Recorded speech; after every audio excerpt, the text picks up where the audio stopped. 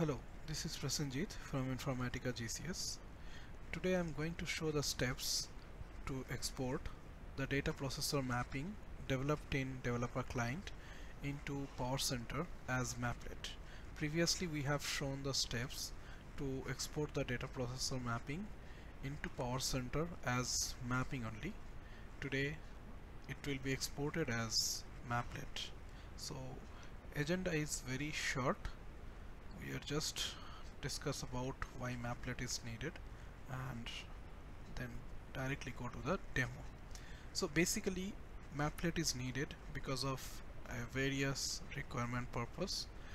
If the mapping is planned to be really long and complex mapplet is the good solution.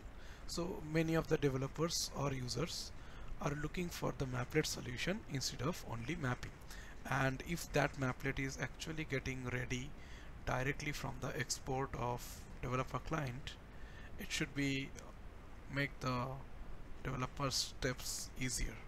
Let's go to the developer client first to check the export steps.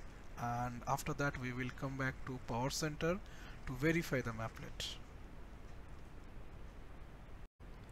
So here is a simple mapping where I have one source data processor and writer. I have already validated the mapping. Uh, please note if the mapping is not valid it won't be able to export to power center not even as a mapping and not even as a mapplet as well. So validation part is done. Let's go for the export step. I will simply right click on the mapping go for the export option and let me expand that option. So inside Informatica I'm clicking on Power Center. I have to choose the correct version. Here I'm using 1020 HF2 the step is exact same for all the versions. There is no difference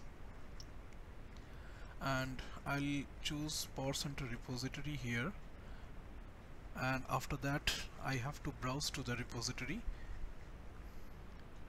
So in this browsing option I have to provide all the details to which Power Center repository I want to connect. So all the host name port numbers uh, password and username everything should be given. And then click OK just to make it connect.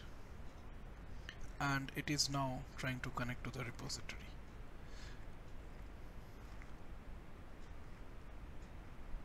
So the connection to the repository is successful. Let's choose the folder list to which I want to export that particular mapping as a mapplet. So here is the list of folders which are available right now in that repository. I'm going to my target folder.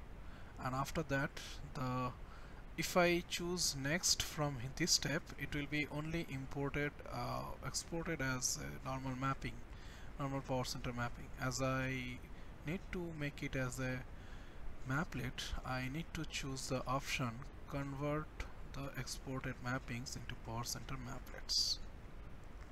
This will make sure that uh, whatever I am exporting is getting converted into mapplets into the power center.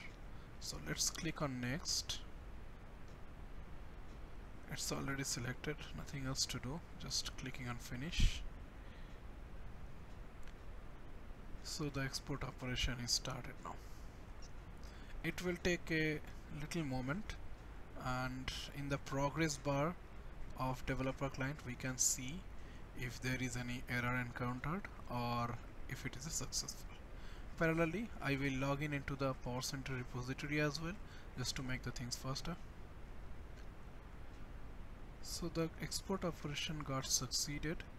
I can see the very first message is showing conversion successful and there is no single error and all the details will be showing uh, how many mappings to which folder everything can be shown here.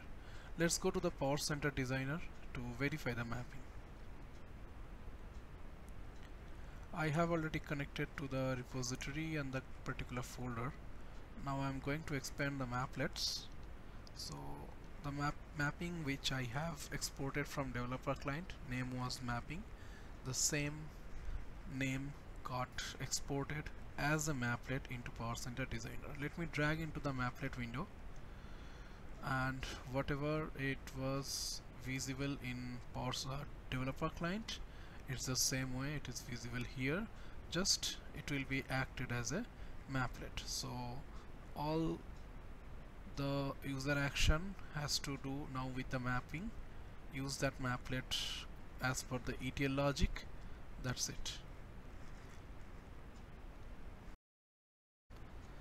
I hope you liked that video we would love to hear from you. Kindly use the below channels to provide your feedback. Thank you